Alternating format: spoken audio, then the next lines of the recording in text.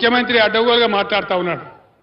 కేసీఆర్ నీ గుడ్లు తీసుకొని గోళీలు ఆడతా నీ పేగులు మెడలేసుకుంటా నీ లాగుల తొండలు దొరగొడతా నిన్ను జైల్లో వేస్తా జైళ్ళకు కేసీఆర్ భయపడతాడా?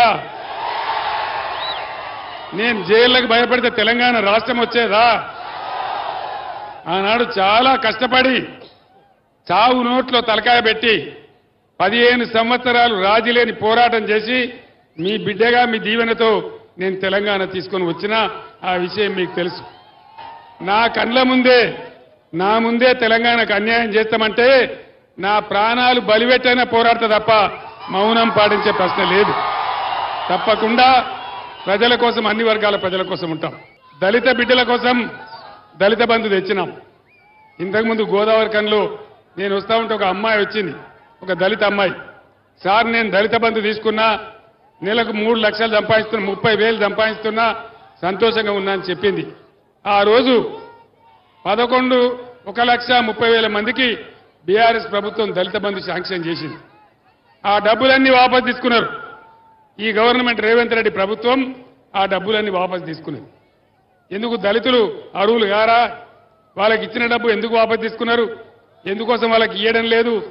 ఇలా గిరిజన బిడ్డలున్నారు గిరిజన బిడ్డలకు బ్రహ్మాండంగా నాలుగున్నర లక్షల ఎకరాల పోడు భూములు ఇచ్చినాం. వాళ్ళకు రైతు బంధు ఇచ్చినాం. రైతు బీమా చేసినాం. ఇలా ఈ ప్రభుత్వం ఒక్క రూపాయి కూడా ఇవ్వడం లేదు. గిరిజన రైతులు ఎవరికి కూడా రైతు బంధు వేయలే.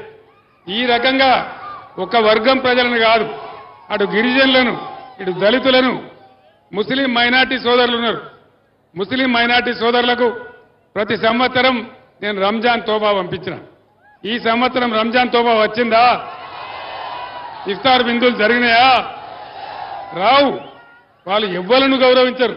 హిందువులను గౌరవించరు ముస్లింలను గౌరవించరు దళితులను గౌరవించరు లంబాడలు గిరిజనులకు ఇవ్వాల్సింది ఇయ్యరు రైతులను ముంచుతారు విద్యార్థులను ముంచుతారు. నాలుగు నెలల్లో ఇంత రాక్షస పాలన ఈ రాష్ట్రంలో జరుగుతూ ఉంది. దయచేసి ఈ అన్యాయాలు అరికట్టాలంటే మనకు న్యాయం జరగాలంటే బీఆర్ఎస్ బలం తెలంగాణ బలం. బీఆర్ఎస్కి మీరిచ్చే శక్తి తెలంగాణ శక్తి. మీ తరపున గొంతెత్తి పోరాడే ఏకైక పార్టీ బీఆర్ఎస్ పార్టీయే.